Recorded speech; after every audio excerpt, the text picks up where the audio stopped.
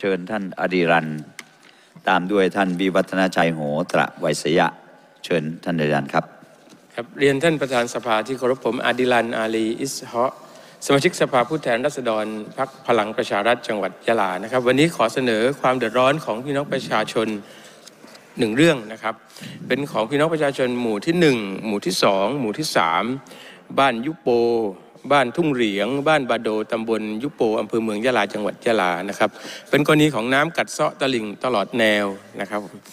ปัญหานี้ผมเองเคยหารือเพื่อขอให้หน่วยงานที่รับผิดชอบ รีบจัดสรรงบประมาณเพื่อแก้ปัญหาจากแม่น้ำปัตตานีกัดเซาะตลิ่งที่ดินของประชาชนแล้วนะครับ เมื่อปีที่แล้วนะครับ เมื่อวันที่ 23 มกราคม 2563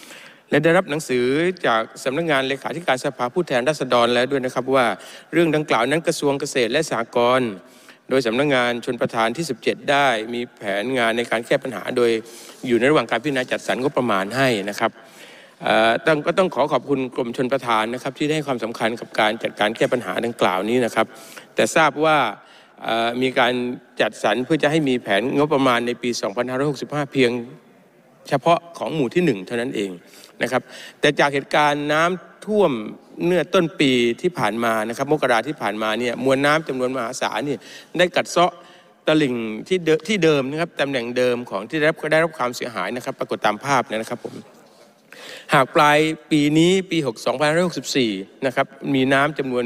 จำนวนมหาศาลซ้ำเข้ามาอีกเนี่ยนะครับ เชื่อว่าจะต้องได้รับผลกระทบ